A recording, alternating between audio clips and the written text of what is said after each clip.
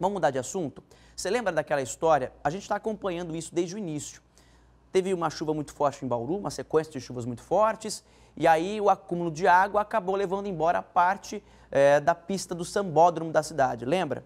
Mostramos isso no dia. Depois chegaram algumas imagens pelo Flagrota na Record de moradores dizendo: olha, até agora nada foi feito.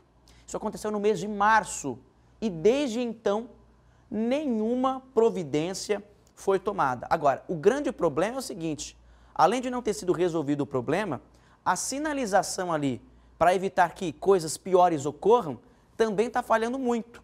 A prefeitura diz: olha, a gente coloca a sinalização, mas o povo vem aqui e arranca. E aí, por conta disso, está tudo na mesma, se não pior. A gente foi conferir de perto. A Tereza mora bem pertinho do sambódromo e todos os dias se depara com esse cenário. A cratera se abriu há dois meses, depois das fortes chuvas que atingiram Bauru. Só que até agora, nada foi feito no local. A dona de casa está indignada e conta que sempre levava a filha para brincar no espaço, mas tem tido muito medo ultimamente. Eu desci domingo aqui para brincar com a minha filha e deparamos com esse, esse demora, desmoramento aí, né?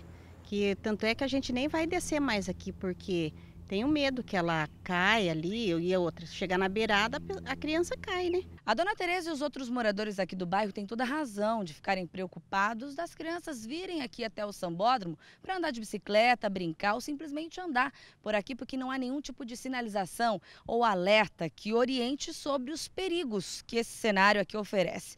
E a gente sabe que as crianças e os jovens, apesar de se depararem com uma cena como essa, são tanto quanto curiosos. E o simples fato de chegar próximo aqui ao limite de onde começa a cratera já representa representa um risco enorme, isso para qualquer um.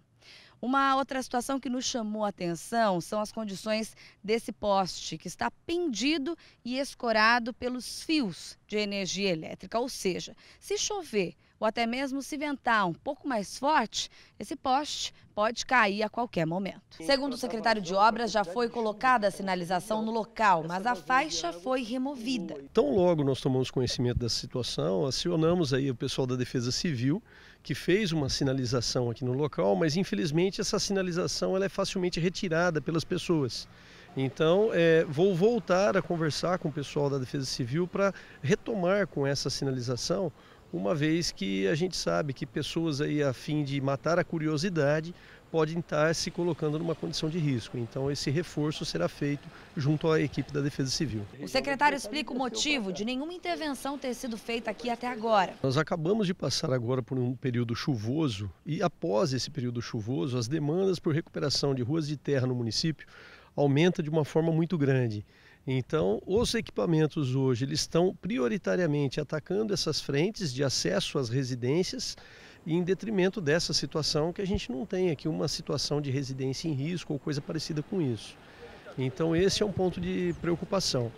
Agora, nossa expectativa com relação ao início dessas atividades é que elas possam ter início aí a partir do mês de junho, né? Estamos trabalhando com esse cronograma para que elas se concluam até meados de agosto, uma vez que em setembro nós temos o uso aqui do sambódromo.